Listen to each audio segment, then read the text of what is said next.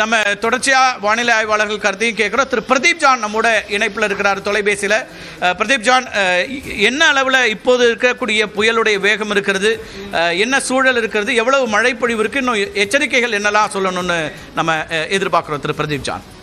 நம்ம பார்த்தீங்கன்னா இன்னைக்கு காலையில விடிய காலையில நமக்கு நேற்று இரவுல இருந்து தொடங்கி மழை பெய்து கொண்டே இருக்குது. அது காலையில நம்ம அந்த அடர்ந்த மேகங்கள் வந்து இன்னும் நமக்கு நம்ம சென்னை மற்றும் காஞ்சிபுரம் திருவள்ளூர் மற்றும் செங்கல்பட்டு பகுதியில் விழுறதை நம்ம பார்த்தோம். ஸோ நம்ம அதே மாதிரி கத்தி அதாவது காத்து பாத்தீங்கன்னா விட்டு விட்டு அடிக்கிற காத்து வந்து நல்லாவே இருந்தது. ஸோ எண்ணூர்ல கிட்டத்தட்ட எண்பத்தோரு கிலோமீட்டர் பெர் அவர் ரெக்கார்ட் ஆயிருக்குது. நம்ம மீனம் பக்கத்துல அறுபத்தஞ்சு கிலோமீட்டர் காற்றின் வேகம் ரெக்கார்ட் பதிவாயிருக்கு.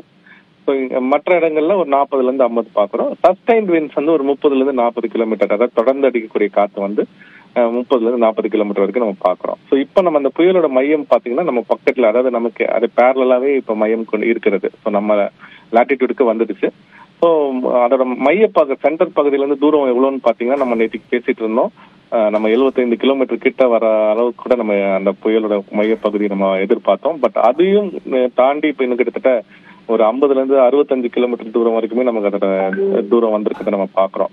ஸோ மேலும் அந்த மேற்கு திசையில நம்ம எல்லாமே நம்ம இப்போ நம்ம ஒரு ஒரு ரெண்டு மூணு நாளாவே சொல்லிட்டு இருக்கிறது அந்த மேற்கு அந்த மையப்பகுதியோட மேற்கு பகுதியில அடர்ந்த மேகங்கள் உருவாக்குறத நம்ம பார்க்க போறோம். அது நம்ம மேல விழுவும் அந்த நாள் மழை வரும் தான் ஸோ மற்ற எங்கேயும் இல்லாமல் ஈவன் ஆந்திராவை விட நமக்கு தான் அதிகமான மழை கிடைக்கும் என்று நமக்கு எதிர்பார்த்துட்டு இருந்தோம். ஸோ அதே மாதிரி அந்த மேற்கு மேகங்கள் தொடர்ந்து விழுந்து கொண்டிருக்கிறது. இன்னும் இப்போ இப்போ சற்று கொஞ்சம் குறைந்திருக்கிறது. திருப்பியும் போக போக மழை திரும்பியும் ஆரம்பிக்கும்.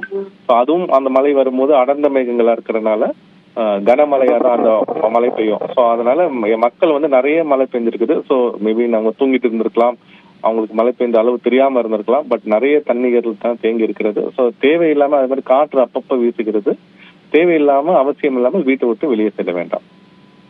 எச்சரிக்கை அப்படின்னா அடுத்து எவ்வளோ நேரத்துக்கு நமக்கு வந்து இன்டென்ஸ் ரெயின் அப்படின்னு எதிர்பார்க்கலாம் சார் இப்போ வரைக்கும் இருக்கிறது எவ்வளோ மழை இருக்குது கிட்டத்தட்ட ஐஎம்டியோட ரிப்போர்ட்லாம் பார்த்தோம்.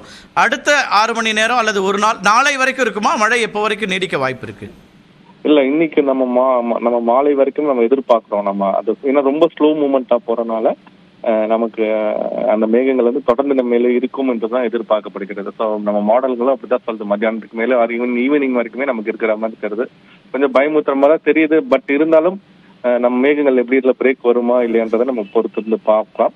ஸோ என்னை பொறுத்த வரைக்கும் அது தொடர்ந்து இந்த மேகங்கள் அது நம்ம அருகே இருக்க வரைக்கும் மேலே சென்று நம்மளை தாண்டி அதாவது நம்ம ஒரு புலிக்கட்டுக்கு மேலே அதை ஆந்திராவை தாண்டி போன பிறகு நம்ம மேல் மேகங்கள் விழுறது குறைந்து விடும் பட் இப்ப வரைக்கும் பாத்தீங்கன்னா இப்ப ஆறு மணி ஆறரை மணிக்கு பாத்தீங்கன்னா நமக்கு அருகே தான் அது இருக்கு ஸோ தொடர்ந்து அந்த மலை மேகங்கள் நம்ம மேல் விழுந்து கொண்டே இருக்கும். அந்த ஒரு ஒரு பின்னுக்குமே அந்த மேற்கு திசையில் உள்ள மேகங்கள் ஒண்ணு ஒண்ணு நம்ம மேல் விழுந்து கொண்டே இருக்கும்.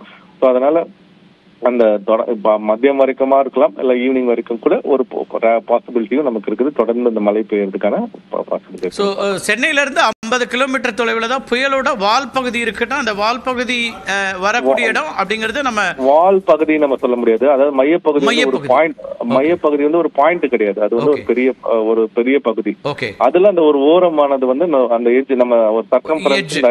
ஆமா எட்ஜ்ல பாத்தீங்கன்னா நமக்கு அந்த பாயிண்ட் பாக்குறோம். நம்ம அந்த மாதிரி இருக்குன்னு பாக்குறோம். ரேடார்ல கிளியரா நமக்கு தெரியுது இந்த வந்து எங்க மையம் இருக்குது எந்த எந்த இடத்துல இருக்குது எப்படி அடர்ந்த மேகங்கள் நம்ம சுற்றி அந்த மையப்பகுதியை சுற்றி ரொம்ப அடர்ந்த மேகங்களா இருக்கிறது.